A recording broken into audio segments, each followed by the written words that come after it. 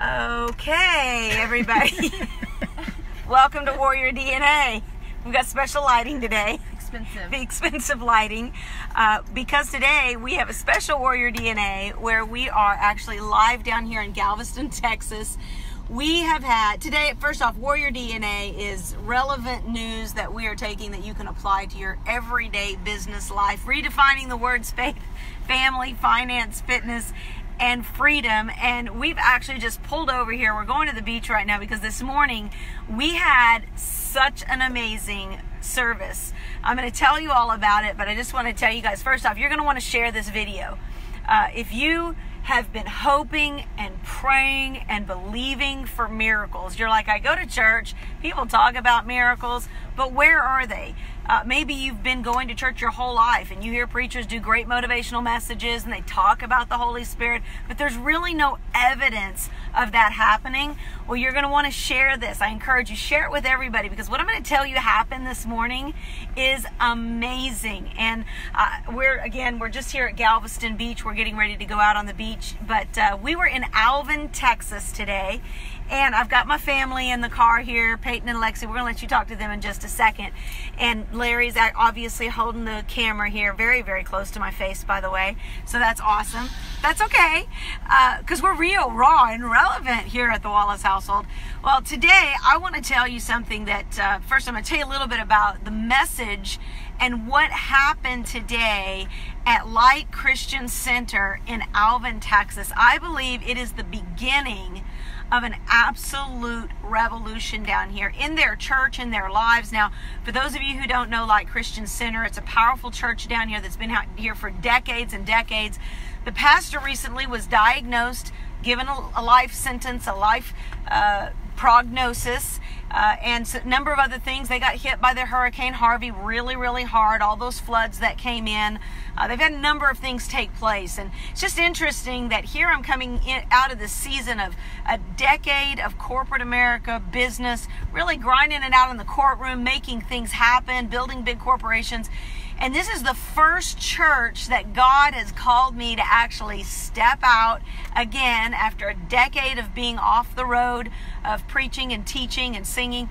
And today, what a welcome party we got today. Uh, so, this morning I had the privilege of taking the pulpit, uh, an opportunity to speak and share for all the people that were there. And uh, the message that last night we were meeting with the pastor and his wife, and uh, Pastor Paul Golden and Sandy Golden. We love you.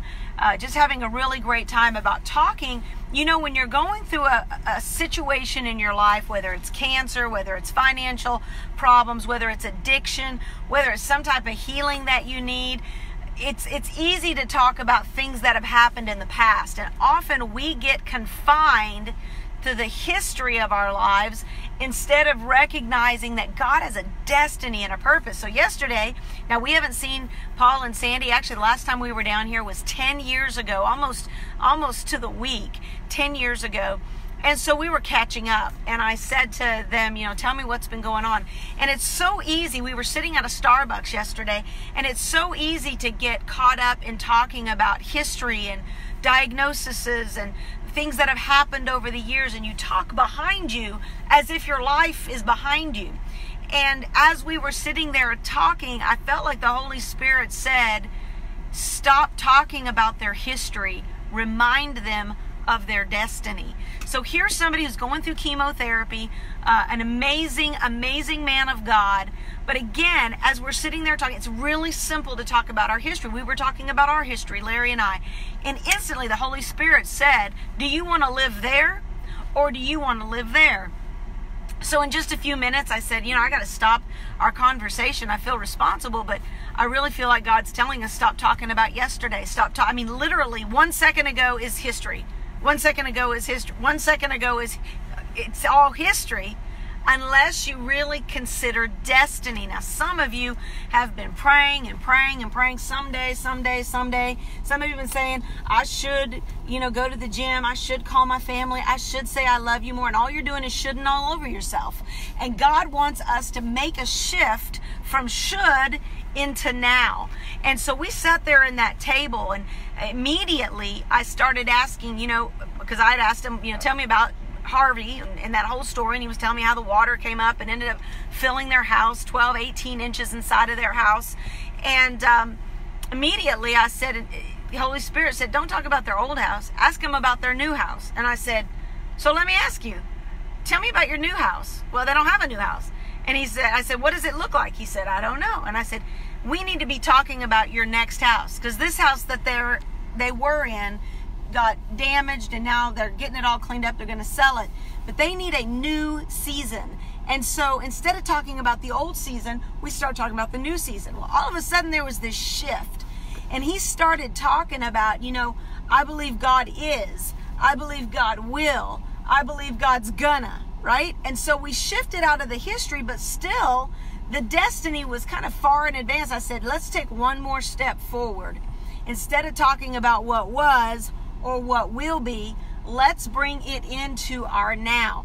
Now, 10 years ago, there was actually a study done scientifically that talked about the power of our thoughts, the power of the things we think, the power of things we say. We all know thoughts become things. Well, here's what's interesting is 10 years ago, they did this study where they took water and they obviously did all these the molecular testing of water and they they found that when they spoke positive words of affirmation and healing and virtue and things that were hope filled, the molecular structure of that water formed crystals that were actually forming into beautiful, like, uh,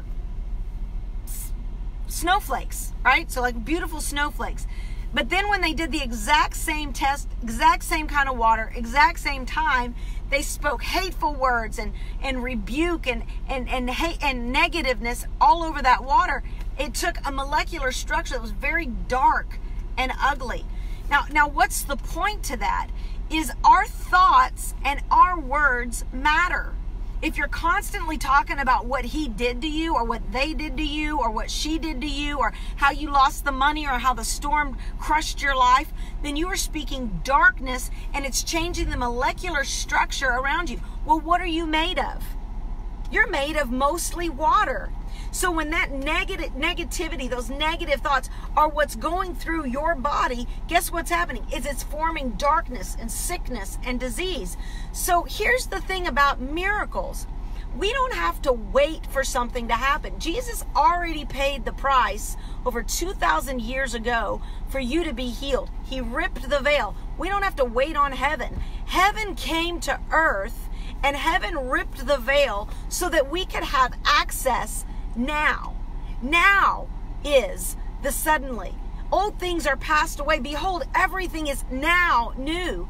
You know, if you begin to think on the things that are good and lovely and of a good report, God says there's going to be transitions that take place in your life now. So instead of saying, you know, one of these days we're just believing God's gonna, we're hoping for, Instead of that, I want you to start thinking of it like this. You know, I don't believe that you're pursuing your dreams. I believe your dreams are actually pulling you into the dream. So imagine getting closer and closer to that vision that you have for your family, that vision you have for your body, that vision you have for your finances. Begin to act as if it's happening now. Begin to speak. Don't say someday, say now is. And so this morning as this was taking place, I just got to tell you, the roof was ripped off of this this church, these people, there was shouting, there was excitement, victory was taking place. And this morning we started talking about if we're going to live that now life, then one of the things about church, and I don't know if you've seen this, but I've gone to a lot of churches, you go in and people talk about miracles, they talk about Jesus, but they're not living it. They're not they're not pursuing Jesus. They like maybe they came in and raised their hand. That is not salvation. Can I just bust everybody's bubbles? You go into a a motivational setting on Sundays, raising your hand one time and then going back to your life, that is not salvation. He said, repent and be baptized. So there's a process that has to take place instead of just a one and done kind of deal. And we got a lot of one and done people that they might have raised their hand and maybe it's enough to get into heaven. But let me just tell you, you raise your hand, you go back sleeping with that boyfriend or that girlfriend, that is not a salvation experience. It is a journey. The woman, and we've talked about this for the last couple weeks, that was busted, I mean, caught naked, caught in the act of adultery, comes before Jesus, He didn't say, you know, neither do I condemn you. Now go on your way. Good girl. Glad you raised your hand. God, you're looking at me. No, he said, and sin no more. We never again see any record of her wanting to go back to that sin.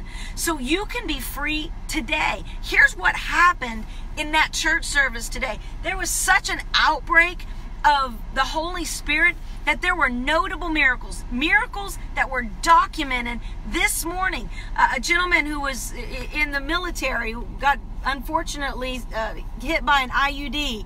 Uh, came in, had knee problems, back problems, head problems, and we were praying for another guy who was the worship leader this morning.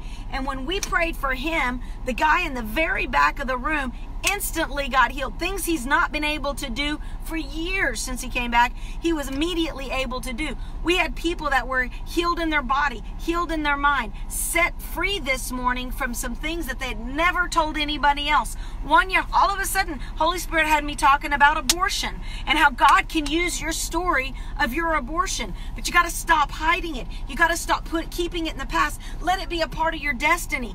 Use your story. If you've gone through an abortion, God's forgiven you. Just say, Jesus, forgive me. He forgives you instantly. Now give it to Him. Let Him redeem it so He can use that. If it stays in your history, God never gets a shot at using it in your destiny. When you start sharing it and other girls start hearing your story, what happens is things like this morning. When I'm sharing this story and I'm saying somebody's in here, you've had an abortion, it's hurt you. You might have the abortion, you might be saved, but you still you can't sleep at night because it, it messes with your mind. You have so much regret, so much shame. And as I'm saying that, people, I said, if, if you've got sin in your life right now, like notable sin, I want you to come forward. I want you to receive not only that salvation opportunity, but repentance, where you turn away, you do a 180 from your life.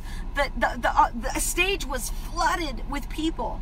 And here's what's cool every single person that had not received the baptism of the Holy Spirit this morning, every single one of them received this morning.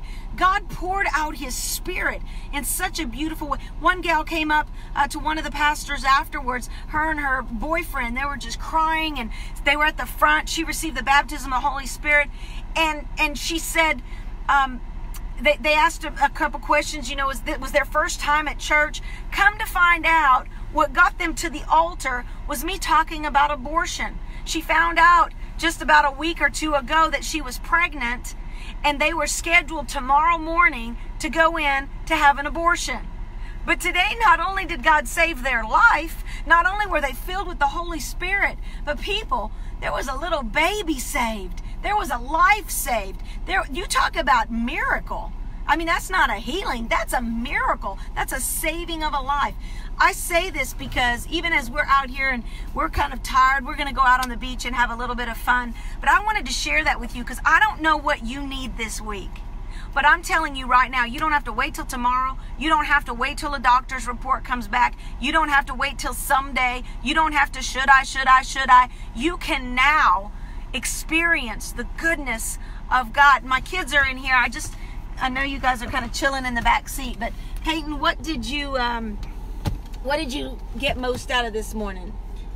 What got what I got most out of this morning was it was a really awesome opportunity because I was able to play.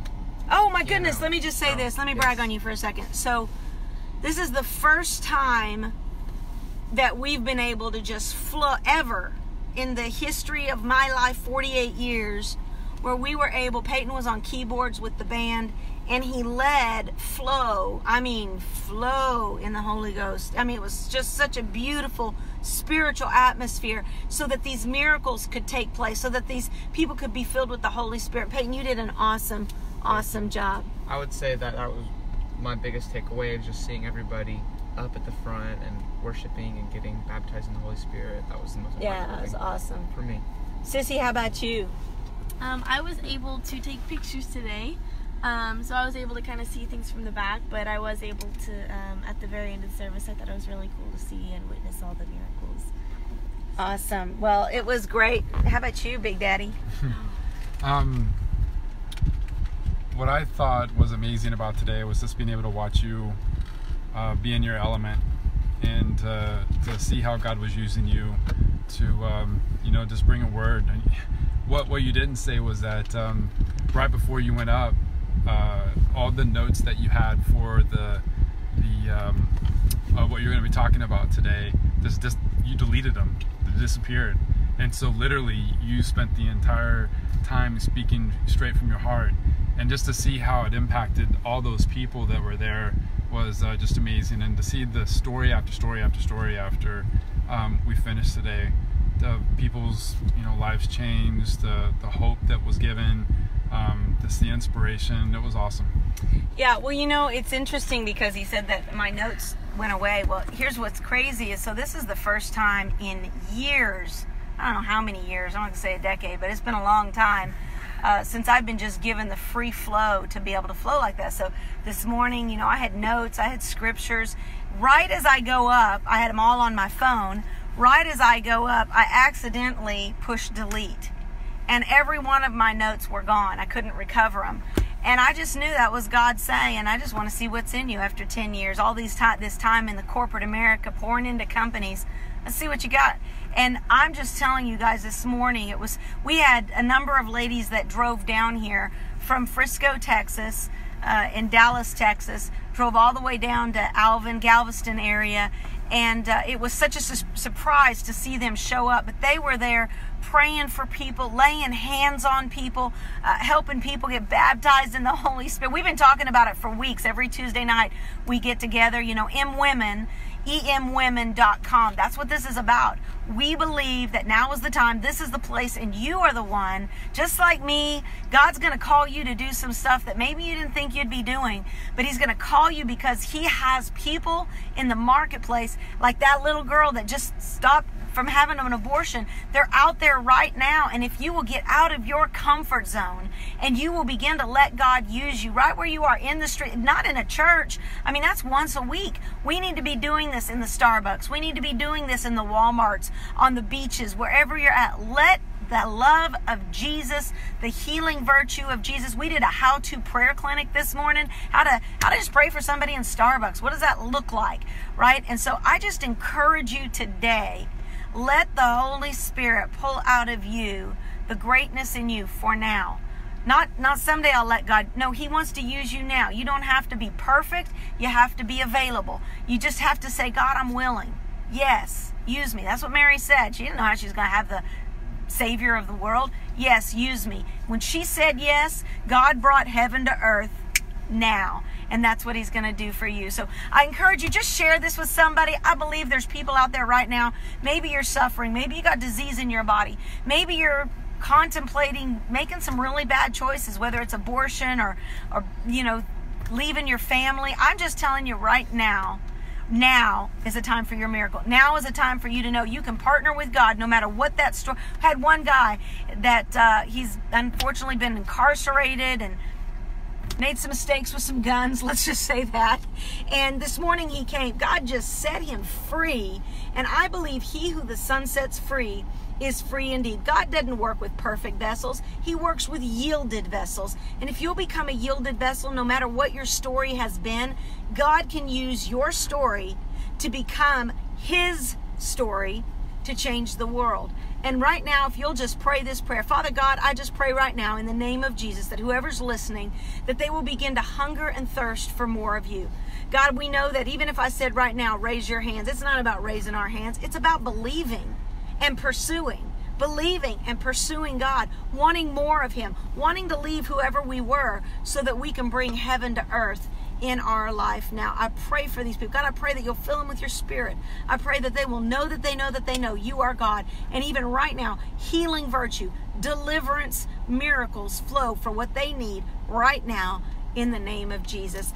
This has been a Warrior DNA. I hope you share it with your friends. Make sure you go over to emwomen.com uh, and, and check out the prayer app. If you need prayer, whether you're a male or female, we've got intercessors on tap 24 hours a day to pray for you. Absolutely free. Just go to emwomen.com forward slash pray and uh, you'll be able to download that app. When you have need, just get in there and say, hey, can somebody just pray for my marriage? Can some, these are the same women that were here this morning a band of women that came here, saw miracles today take place, are the same women that are going to be praying for you. And I believe that you're going to begin to see the healing virtues, signs, and wonders appear in your life. Because that's who God is. If you think Christianity is boring or the Bible is irrele- irrelevant, then you're not tapping in to the fullness of the Holy Spirit.